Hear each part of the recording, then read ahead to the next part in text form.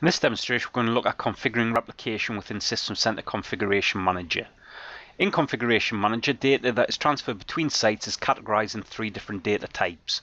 We have global data, site data and also as well content.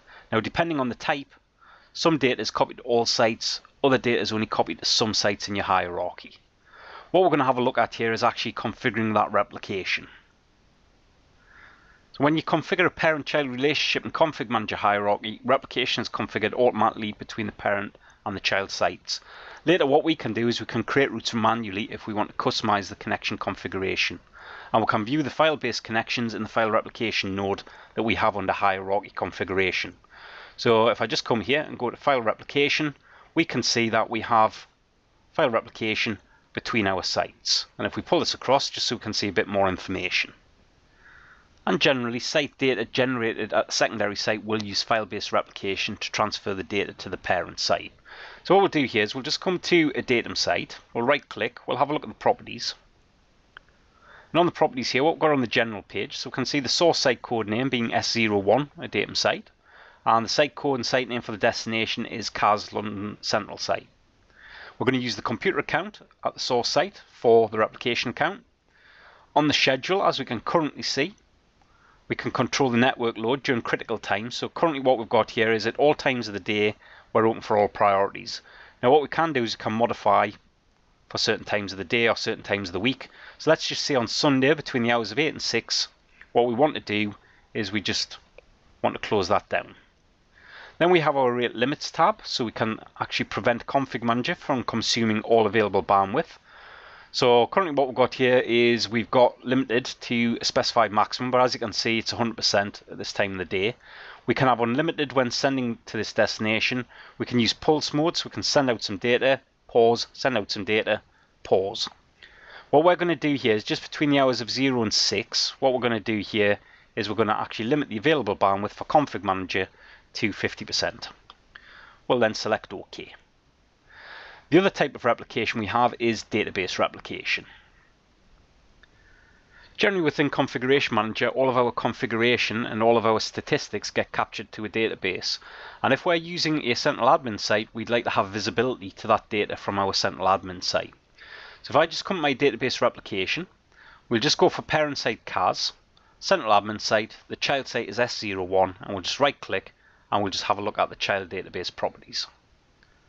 So we have a database tab, and on the database tab, we can specify the port for the broker point.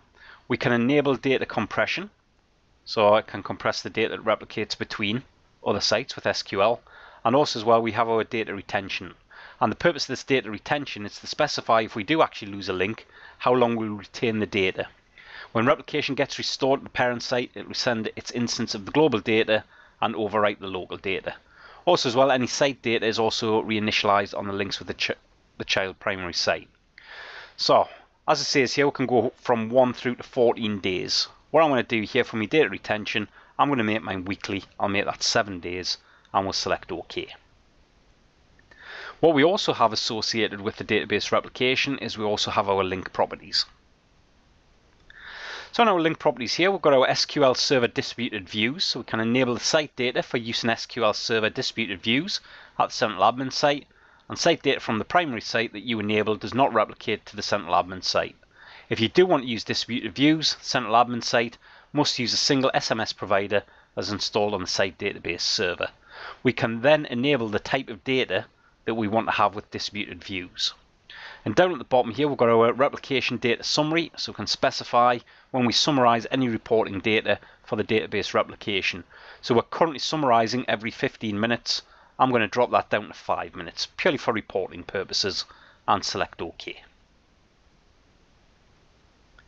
If we just right click again and just go back to our link properties, so what we've also got, we've got our schedule tab. So as we can see here in our schedule tab here, configure when database replication sends site data across the replication link. So we're going to do that 24 hours a day, 7 days a week. Also as well, if we look at the alerts, we will generate an alert when this replication link is not working and we'll say that for, let's say 30 minutes, we're happy with the defaults. Number of retries before we degrade the link, we'll go for 12. And number of retries before the link status is set to failed, we'll say 24. So we'll select OK again. Next thing we'll have a look at here is configuring our sender properties. So in order to do that, we come down to our site configuration. We'll go to our sites. We'll go with our S01 site.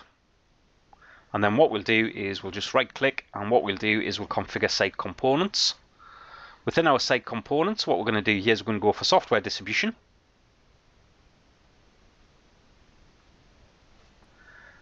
As we can see here, packages can be distributed concurrently to multiple distribution points, we need to specify the limits for this concurrent distribution and retry settings.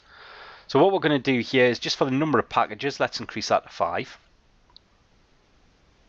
Then what we'll do is the maximum number of threads per package, let's increase that to 8.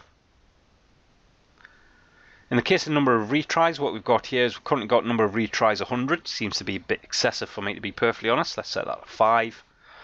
Delay before retrying in minutes. Um, again, 30 minutes seems a bit excessive, so let's set that to 5. Then what we've got here is in the case of our multicast retry settings, so we've got the number of retries currently set to um, 3, happy with that. And delay before retrying 1, I'm happy with that. So this point here, we'll select OK. Then what we'll do is we'll just monitor our replication. And in order to do that, we come to our monitoring tab. We'll come to our database replication. And as we can see here, our link is active. I'm not bothered about this NYC one. I don't actually have that server turned on. And in the case of the Toronto one as well, again, I don't really have that one turned on either. So the only one I currently have in play is actually going from my CAS to my primary site. And what we can see down the bottom here is we can see the parent site. We can see the parent site state, replication is active. We can see the child site, replication is active. We can see the parent site, child global state, link is active. We can also see as well global synchronization time. Scroll this down a bit further. We can see the child site to parent site global state. We can see when we last synchronized. We can see the percentage.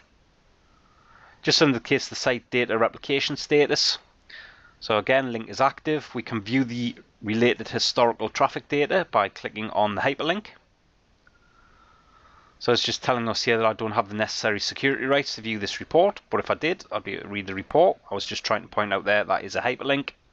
And scroll this down a bit further, so everything's good so far. We can have a look at the information relating to the primary site, or the parent site.